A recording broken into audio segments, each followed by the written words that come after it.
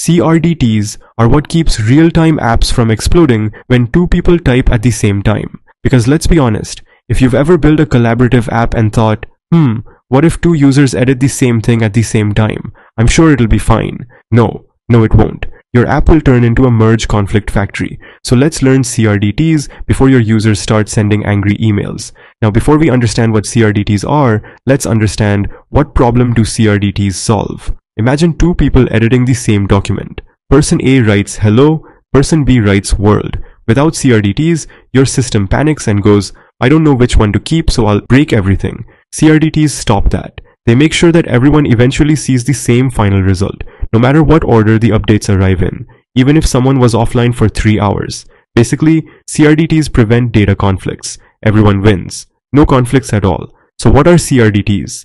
CRDTs are special data types designed for apps where many people edit the same thing at the same time. They are built so that you can apply updates in any order. You can apply updates multiple times. You don't need a central server to fix mistakes. All devices will end up with the same final result. Or in simpler terms, CRDTs are like Lego pieces. No matter how you connect them, they still fit. There are two big types of CRDTs, state-based CRDTs and operation-based CRDTs. Let's understand state-based CRDT with an example. Imagine you're building a shared to-do list app. Each user has their own copy of the entire list. What happens when they sync? So let's say user A's list is buy milk, fix bug, and user B's list is buy milk, touch grass. Now when they sync, they merge the full lists. The merge rule is combine everything without duplicates. So the final merged list is buy milk, fix bug, touch grass. Nobody overwrites anyone else. The merge always produces the same result. But the drawback is you had to send the whole list over the network even if only one new item was added. This is state-based CRDT. Now let's understand operation-based CRDT with an example. Let's take the same to-do app example, but now you send just the changes. So user A adds add fix bug, user B adds add touch grass.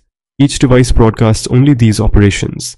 Add fix bug, add touch grass, and any device that receives them applies them in any order. So order 1 could be apply A then B, so basically fix bug, touch grass, or it could be order 2, which is apply B then A, that is touch grass, fix bug, but the CRDT rules ensure the final result is the same list for everyone. Here you didn't send the whole list, just the operations. This is operation-based CRDT. Now a good example of CRDT can be Google Docs that lets multiple people type at the same time and all devices keep the same text order. So why should you care about CRDTs? Because the concept of CRDTs or something similar is used in Google Docs, Figma, Miro, Notion, offline first apps, real-time chat, and collaboration tools. If your app has real-time editing, CRDTs save you a lot of time and effort. They are pretty useful and a very popular algorithm. So yeah, if you found the video insightful, do like and subscribe for more.